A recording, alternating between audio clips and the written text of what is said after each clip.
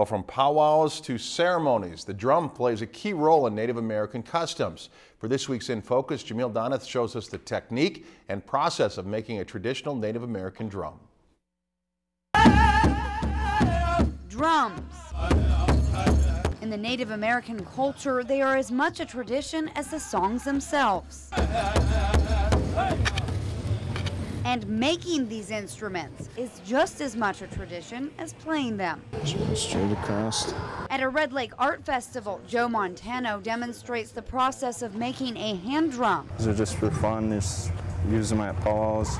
You're not right up front here. A technique learned from his dad. My dad would buy me buy me a hide or something, you know, an elk hide, and I'd I'd mess up.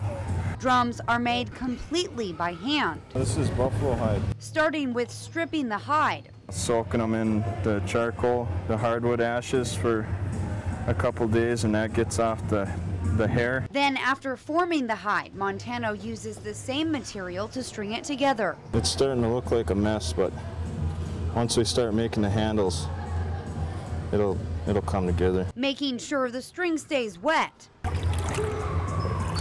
Once the drum is strung together, Montano goes back and tightens every strand. Start making it look better. The last part is the handle, which is made by wrapping the remaining material in sections around the center.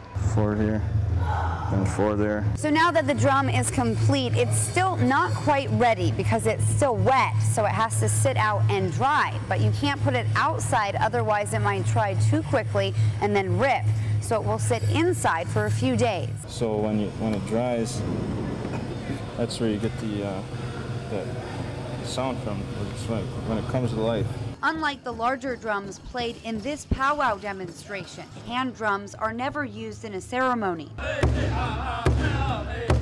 But whether a fun drum or a ceremonial drum, each one is custom made. You gotta try and think, uh, you know, good thoughts. And every person designs to the beat of a different drum. For this week's In Focus, Jamil Donath, Lakeland News.